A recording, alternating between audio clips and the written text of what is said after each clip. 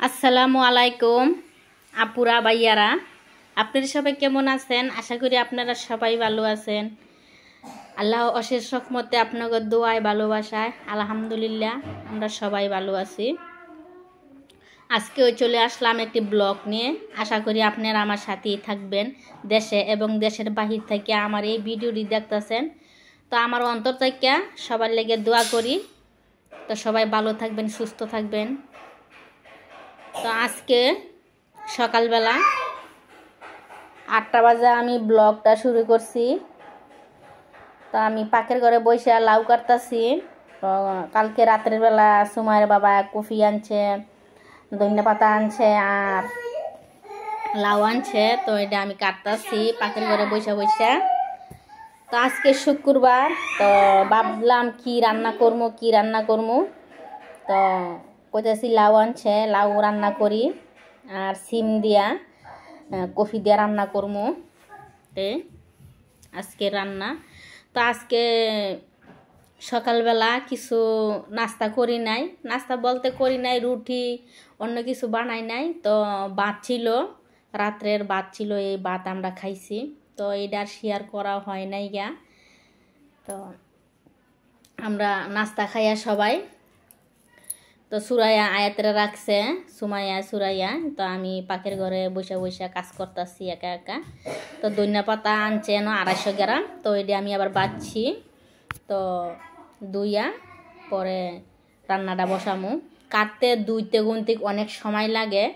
তো রেডি করে রান্নাটা বসাইলে গুনতিক বেশিক্ষণ লাগে না, দুই চুলায় বসাইলে তাড়াতাড়ি হইয়া যায়। আর গড়ে কুন্তিক অনেক কাজ থাকে। তো এই কাজ শেষ না করে কিন্তু পাখির ঘরে যাওয়ান যায় না। নাতে ঘরের ভিতরে একটা কাজের এলোমেলো লাগে জায়গা। কোনটা থুয়া কোনটা করমু কোনটা থুয়া কোনটা করমু। তো ঘরের কাজ শেষ করে পরে পাখির ঘরে ঢুকি। তো পাখির ঘরে তেনে একবারে রান্না বান্না কইরা পরে বাড়ি। তো আমি দোয়া দায়ী কইরা রান্নাটা বসাই দিলাম।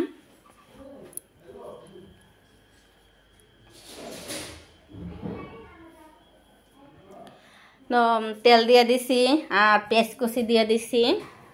তো লাউ তরকারি তো রান্না করব আদা বাটা দিয়ে দিছি। তো, আমি দেখতাম আমার মা লাউ রান্না করলে আদা বাইটা দিত। আদা বাইটা দিলে লাউর ভিতরে নাকি তরকারিটা অনেক মজা লাগে, লাউ তরকারিটা। তো, লাউ কি দিয়ে রান্না করব ওই দিনে একটা রুই মাছ আনা হয়েছিল তো ওই রুই মাছের মাথাটা রাইখা দিছি। ওই মাথাটা দিয়া লাউ রান্না করব লাউর ভিতরে যত মরিচ কম দেওয়ান যায়, এত থেকে লাউ তরকারিটা কোন থেকে অনেক মজা লাগে। তো হলুদের গুঁড়া, মরিচের গুঁড়া, লবণ ধনিয়ার গুঁড়া, কাঁচামরিচ দিয়ে দিছি।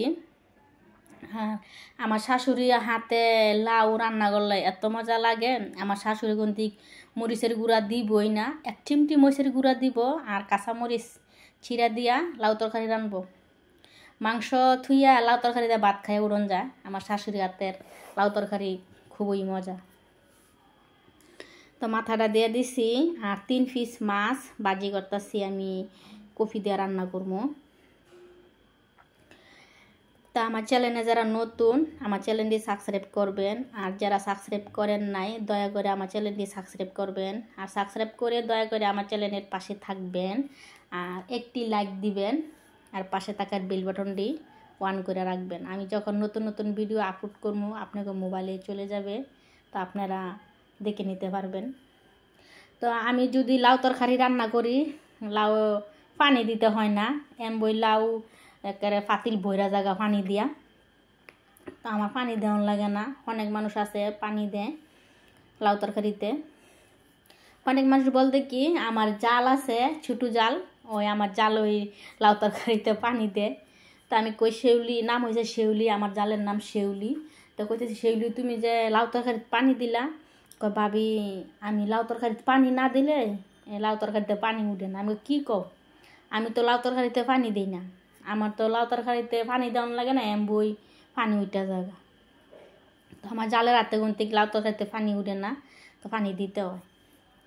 তো দেখবেন পাতি লেখেরা আমার লাউ তরকারি বইরা গেছে গা। তো আদা বাটা, রসুন বাটা দিয়ে দিছি। তো আদার যে পানিটা উঠছিল, ওই আদার পানিটা আমি দিয়ে দিছি। আর কাঁচামরিচ, হলুদের গুঁড়া দিয়ে দিছি আর লবণ দিয়ে দিছি। মরিচের গুঁড়া দিয়ে দিছি। দইনার গুঁড়া দিয়ে দিছি। তো অনেক লাড়াচাড়া দিয়ে দিতেছি। তো পানিটা দিয়ে দিছিলাম আগে, ক্যামেরাটা অফ ছিল। তো এটা আর দেখানো হয় নাই। তো না, আর অল্প পানি দিয়ে দিছি, ভালো করে কষানি হইব। তো এই যে চিম, আলু, ফুলকপি একসাথে দিয়ে রান্না করতেছি। তো শীতের সবজি গন্তিক, অনেক মজা, সব সবজি দিয়ে রান্না করলে। মানে শীতের সবজি আইছে, খুবই মজা। তো আগের মানুষের গন্তিক দেশ গ্রামে পাতিল বইরা, সবজি রান্না করে থুইতো তরকারি, তো সকালে জাল দিত মানে গরম করতো। যে কিনো তরকারি গরম করলে জাল দিলে গন্তিক অনেক মজা লাগে খাইতে। তো এই যে আমার লাউ তরকারি হইয়া গেছে গা কত পানি উঠছে, আমি কিন্তু পানি দিই নাই গা। আমি লাউটা গন্তিক ধুইয়া একটা ছাকনিতে রাইখা দিছিলাম, তো এই যে পানি, কত পানি উঠছে। আমি লাড়া সারা দিতেছি দইনা পাতা দিয়া। তো চিংড়ি মাছ দিয়া লাউ রান্না করলে আর বেশি ভালো লাগে, টাকি মাছ দিয়া, শৈল মাছ দিয়া ওরি দিয়ে রান্না করলে ভালো লাগে বেশি। তো ওই দিন আমি বাজারে গেছিলাম, টাকি মাছ বিচারছি, টাকি মাছ পাই নাই গিয়া। তো টাকি মাছ যদি পাইতাম, তাহলে আমি নিয়ে আইতাম টাকি মাছ। তো আরেকদিন লাউ আইনা রান্না করতাম।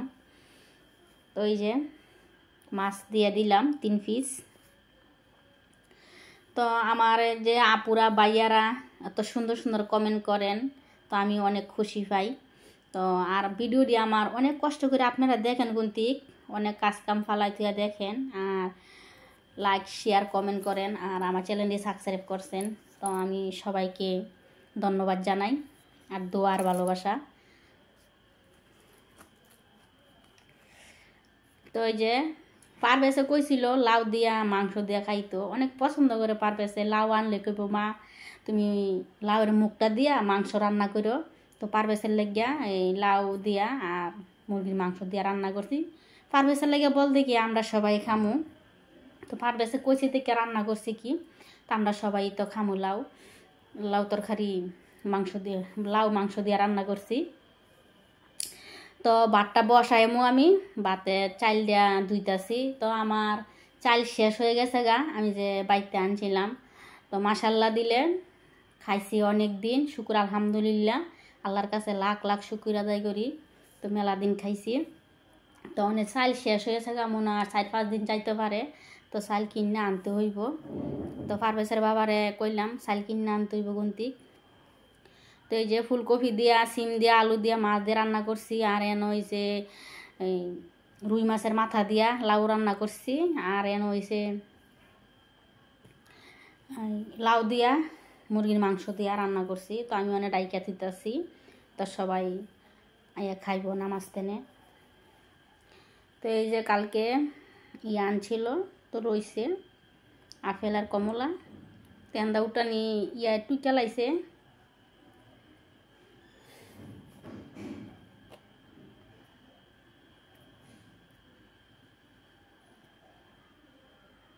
তো এই যেন পানি ডাইকে রাখছি আমি। পারবেশ আবার পানি আনছে, পানি ডাইকে রাখছি। তো সুমায়া ভাত খাইতেছে। এই যে সুমায়া ভাত খাইতেছে, রোদ বইয়া, এই যে রোদ, অনেক রোদ দেন তো গোসল করে আইছে সুমায়া গোসল করে নামাজ পড়ে আইছে অনেক শীত করতেছে বলে। তো এই যে চুল ভিজা। কিসে কিসে কিসে, বাবা, কিসে কিসে? কি? কালকে পারবেশা আপেল আনছিল। তো এই যে আপেল সুমায়া বসে বসে খাইতেছে। আয়াতে ডাকতেছে আমারে, আম্মু কইরা। আয়াত, আয়ো! সুমায়া আপেল কাটতেছে, আয়ো!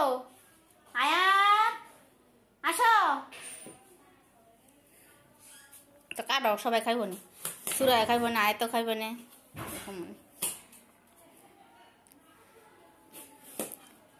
তো আজকে শুক্রবার তো সুমায়া কইছিল একটু ঘুরতে যাইতে তো আর ঘুরা যাওয়া হয় নাই গা আয়াতে শরীর ভালো না দেখা। তো দেখি যাইতে পারি নাকি। কি আনছ? ও আয়াতে কি মজা আনছে? দেখি। কি মজা আনছো? এ লাঠি মজা আনছো? ও। দাও আপার একটা মজা দাও। আপার মজা দাও। আয়া। ওই যে ফোন দিছে, তোমার বাবা ফোন দিছে।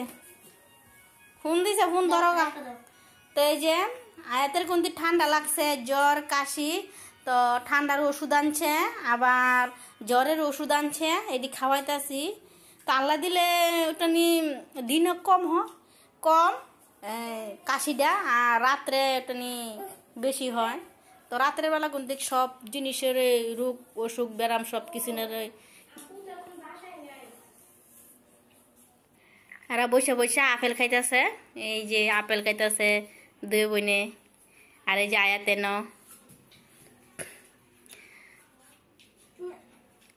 তো আজকের মতন ব্লগটি এখানে শেষ করছি।